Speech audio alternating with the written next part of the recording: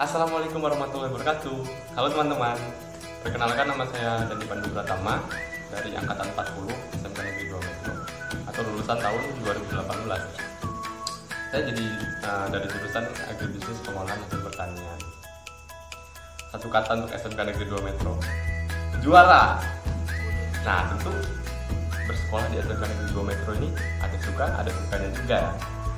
Jadi untuk sukanya nih yang pertama itu kita tuh bisa belajar berbisnis gitu.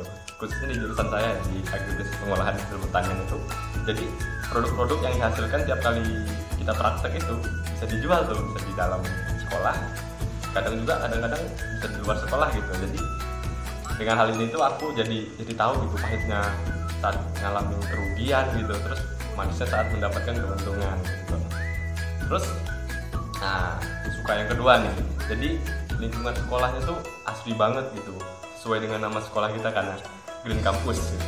Jadi uh, suasananya tuh sejuk terus lingkungannya tuh cukup luas jadi bisa membuat kita belajar dengan nyaman gitu dan asik gitu. Terus uh, suka yang ketiga nih. Jadi kita tuh bisa ikut berbagai perlombaan yang hampir rutin diadakan setiap tahunnya gitu. Jadi bahkan aku seneng banget waktu itu bisa mengikuti lomba ya.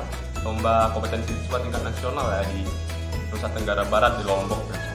waktu itu mewakili sekolah dan provinsi Lampung gitu. nah kemudian untuk dukanya nih sebenarnya dukanya itu cuma cuma satu. Itu pun pas awal-awal dulu masuk ya. Itu kan laki-lakinya cuma ada lima orang tuh satu angkatan. Hampir 60 lebih kan cowoknya cuma lima tuh tapi juga akhirnya duka ini tuh malah menjadi suka gitu buat aku ya. Karena akhirnya aku kan bisa bisa beradaptasi dengan baik dengan banyaknya perempuan satu kelas gitu kan. Terus bisa belajar dengan baik di lingkup minoritas gitu kan. Dan itu tuh malah jadi kelebihan gitu bagi aku tuh. Bisa menjadi bisa uh, menonjol di antara banyak murid perempuan gitu yang biasanya kan terkenal cerdas dan rajin ya. Nah selain suka dan duka saya juga tuh bisa mendapatkan value yang luar biasa gitu kan. Nah, selain nilai akademis tuh ya. Banyak sekali sebenarnya value-value yang saya dapatkan dari SMK Negeri 2 Metro. Nah ada satu value yang benar-benar bisa dibilang tuh luar biasa banget bagi saya. Yang merupakan buah dari uh, gimana ya pemikiran saya selama bersekolah di SMK Negeri 2 Metro ini dan apa yang saya pelajari dari guru-guru serta telaah tersendiri dari jurusan gitu jurusan saya itu. Dan apa sebenarnya jati diri dari siswa SMK Negeri 2 Metro yang seharusnya gitu. Jadi uh, aku tuh mendapatkan sebuah motivasi dan dorongan gitu ya. Yang menempatkan aku sekarang tuh di Politeknik Keuangan Negara Stan ini. Mungkin teman-teman tuh bertanya apa sih dasarnya kok kamu milih berkuliah atau melanjutkan perkuliahan di luar apa ya bisa luar kompetensi yang ada di SMK gitu kan? Jadi gini selama di SMK Negeri 2 Metro itu pemikiran kreatif dan jauh ke depan itu kan benar-benar terasa lah sampai di suatu titik tuh aku berpikir gitu, bahwa aku tuh nggak bisa cuman apa ya berputar di kompetensi saya yang sekarang gitu ya.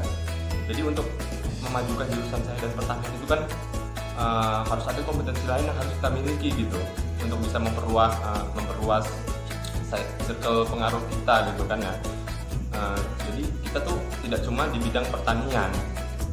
Nah akhirnya tuh aku berpikir uh, untuk menekuni bidang keuangan negara gitu kan.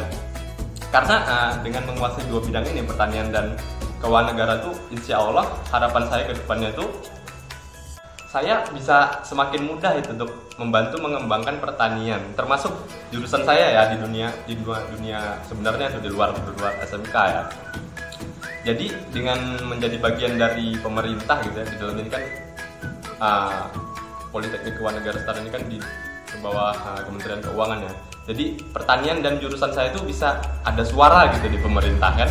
Jadi saya bisa punya pengaruh di pemerintah untuk mengusulkan atau membuat kebijakan-kebijakan keuangan negara yang bisa membantu apa ya memajukan pertanian dan bisnis pangan yang ada di Indonesia atau dengan apa? Dengan kebijakan-kebijakan yang bisa membantu seperti UMKM karena salah satu uh, tujuan dari SMK Negeri 2 Metro ini kan menghasilkan lulusan yang bisa berwira ber, ber, berwirausaha ke depannya kan ya.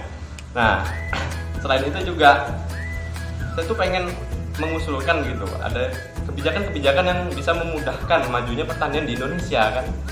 Nah, itu menurut saya value dan sebuah pemikiran yang sangat mahal yang saya dapat di SMK Negeri 2 selama saya menuntut ilmu di sana gitu. Ah, harapan saya untuk SMK Negeri 2 Metro ke depannya itu mudah-mudahan SMK kita ini bisa konsisten untuk melahirkan atau mencetak lulusan yang handal gitu.